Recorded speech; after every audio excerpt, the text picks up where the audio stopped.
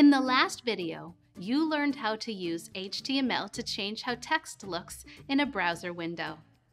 In this video, you will write new code to make the text appear in your pop-up message. First, make a variable to store the HTML tagging and coding. In computer science, a variable holds information for a program to use later. For example, if you created a program that kept track of how many people responded yes to a party invitation, the number of responses would be stored in a variable. If you are still in the HTML window of your script editor, return to the code.gs tab. After the left curly brace and before the code you wrote earlier, type var space HTML space and an equal sign. VAR makes any word that comes after it into a variable that holds information to use later.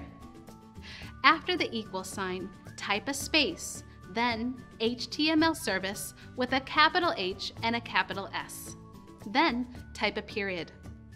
This brings up the autocomplete menu, which shows different HTML settings and functions to choose from. Choose Create HTML Output from File from the list. Next, tell the Create HTML Output from File function which HTML file it should use to format the alert message.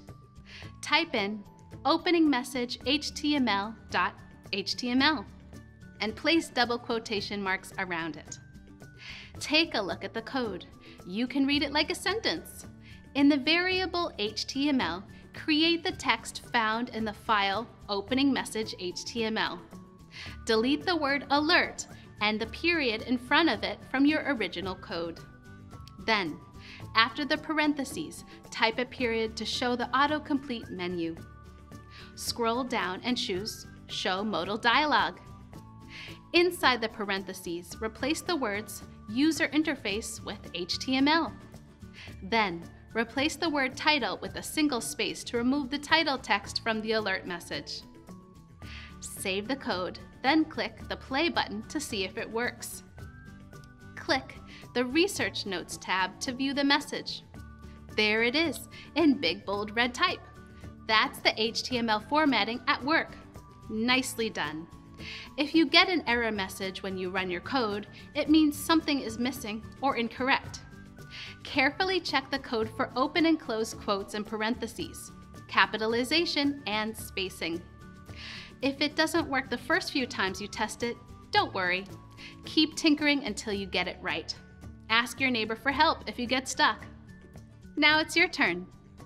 Create a variable called HTML.